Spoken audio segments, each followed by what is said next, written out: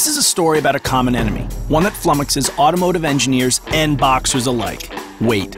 In the same way that too much of it can slow down an athlete, it can also lead to heavy fuel consumption and overall poor efficiency in cars. But unlike a boxer, you can't just put a car on a diet. The body has to be strong and rigid, because strong keeps it safe and properly. So our SkyActiv target for the body was 30% greater rigidity, top crash safety performance, and 8% weight reduction. We got there with more extensive use of high tensile steel that's stronger and lighter than conventional steel, and harder working streamlined geometry, such as crash energy pathways that are more efficient by taking advantage of the entire body instead of just the floor.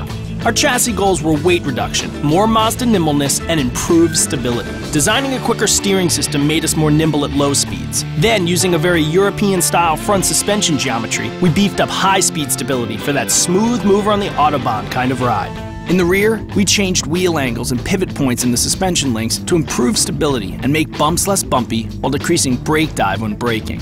Big changes like these were made possible by our clean sheet approach. In many cases, car chassis and bodies are engineered by different groups, even different companies at different times. When you do this, each part has to be compromised in order to work with the other, versus being perfected individually, as well as harmoniously integrated with surrounding parts. But since our body guys and chassis guys were able to work together, we didn't have to compromise. Another example? Why not take advantage of areas in the body that were being pre-strengthened for crash safety and mount the suspension parts there versus strengthening new areas of the body to mount them? The result? A chassis weight reduction of 14% without sacrificing handling performance.